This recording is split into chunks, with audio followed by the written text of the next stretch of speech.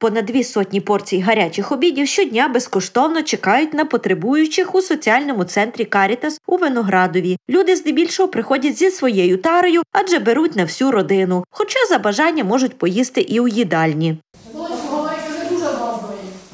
Перша та друга страви. Повноцінний обід готують кухарі з якісних продуктів, які зберігаються на складі. Це в нас заготовка на завтра до супа. Ясний суп буде завтра з манними кльоцками в нас. Приготовляємо як вдома, як для своїх дітей, для своєї сім'ї. Макарони.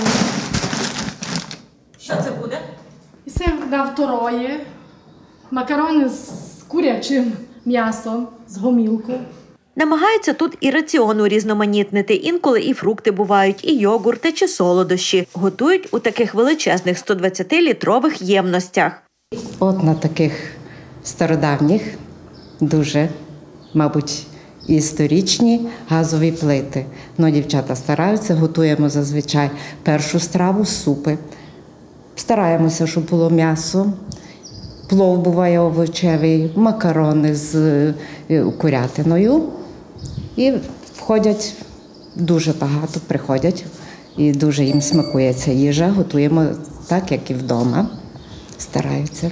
Безхатченки, малозабезпечені, багатодітні, одинокі, у складних життєвих обставинах, а також переселенці. Майже 90 людей щодня тут харчуються не тільки з Виноградова, а й навколишніх сіл. Ми функціонуємо виключно завдяки закордонним грандам, закордонним спонсорам. Тобто ми щороку складаємо бюджет, пишемо до них програми, стараємося завжди е, планувати із запасом.